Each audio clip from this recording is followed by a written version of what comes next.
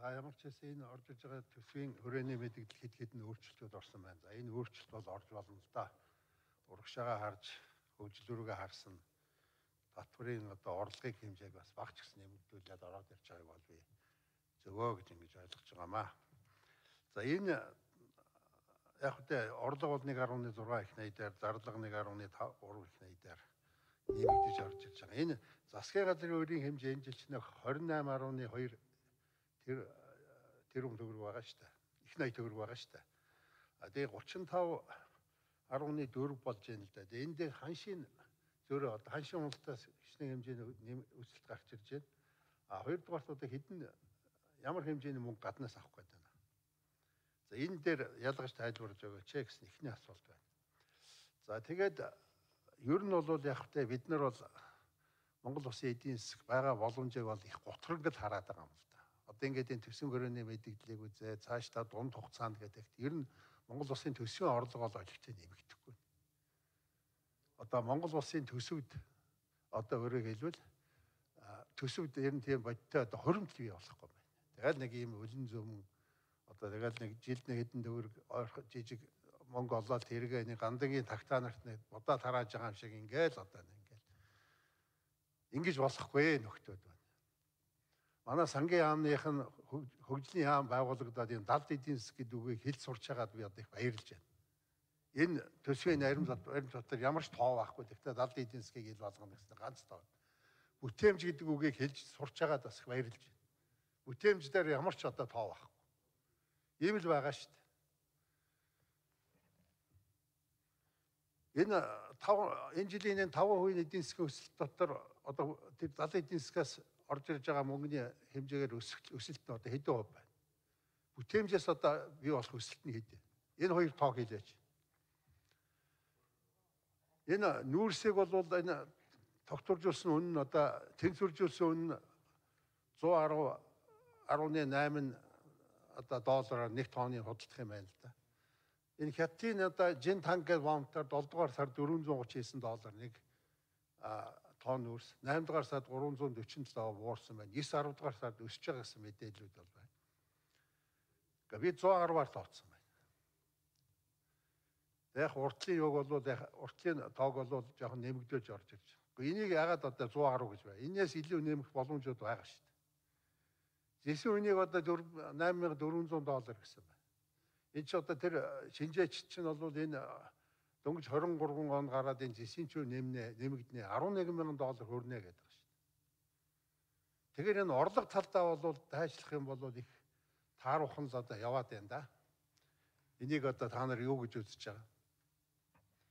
Тэгээ би бол ямар санал хэлэх гэж байгаа юм бол энэ хасах зардлууд бол их байна уу? Халамжтай холбоотой зардлуудынхаас тэрнийг зам засна гэдэг, нэг соёлын төв, өр бүтгэл гэдэг Ингээд энэ 2023 оны төсвийг алдагдлгүй болчихлоо яасан.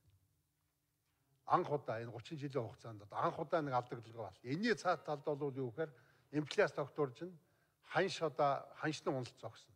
Тэр Английн туршлага байна шүү дээ. Пүнтийг одоо яаж уналтыг яаж аварч байна. Ийм саналыг одоо би хэлэх гэж байгаа. Энийг одоо та нар үзээч. гэсэн ийм саналыг одоо та нар хэлье. За тэгээд дээр нь бол юу гэхлээр зэрэг 11 нь одоо тэрбум доллар орж ирнэ. 2019 оны төвшөнд одоо хүргэнэ. гэж 2019 онд ч нэг 7.2 тэрбум доллар орж ирсэн байна.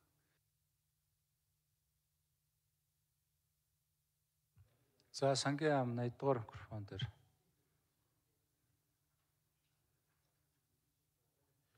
За Бат төмөр гишүүний асуултанд хариулъя. За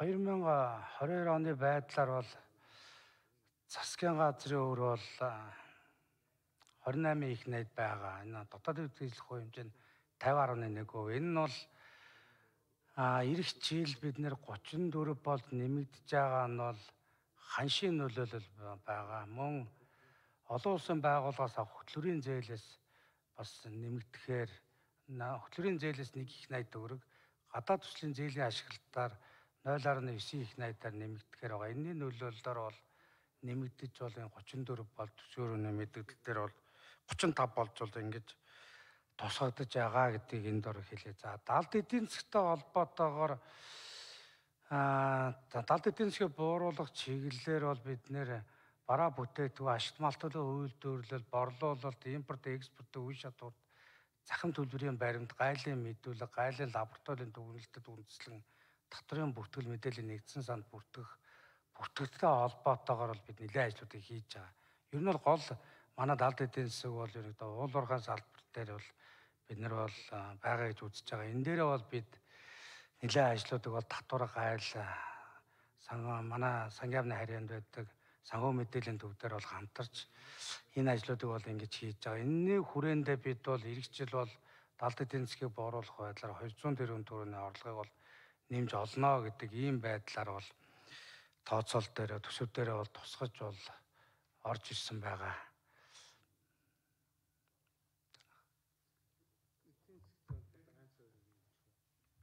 За 81-р микрофон дээр наран цогт дарах нэмж хариул.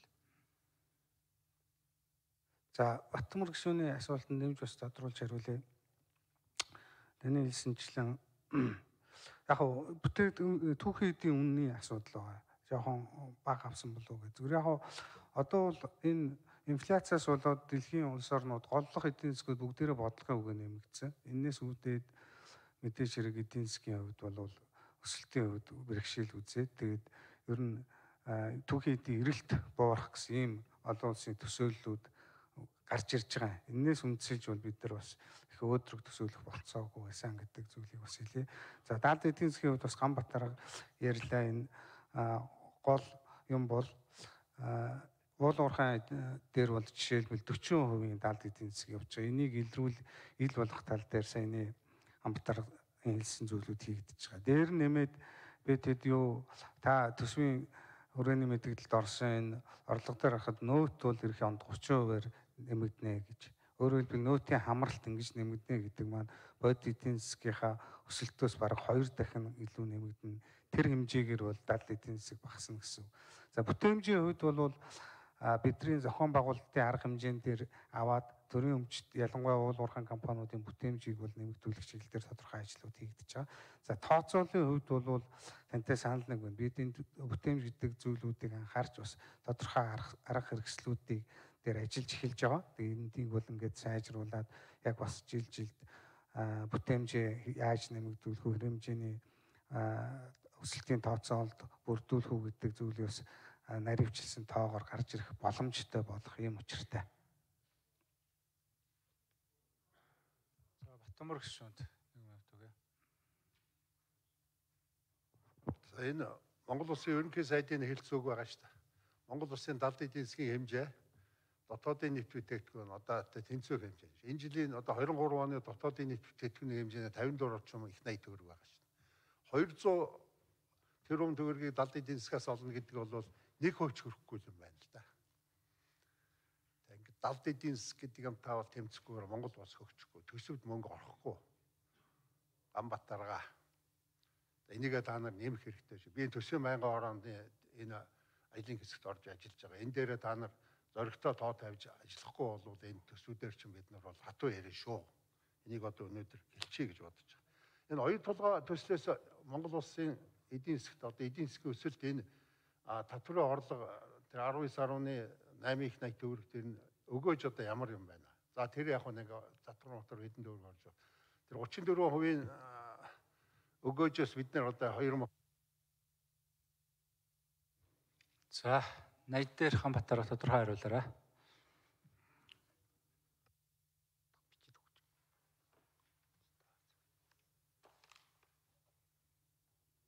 Найн дөрөвдүгээр микрофон үгүй.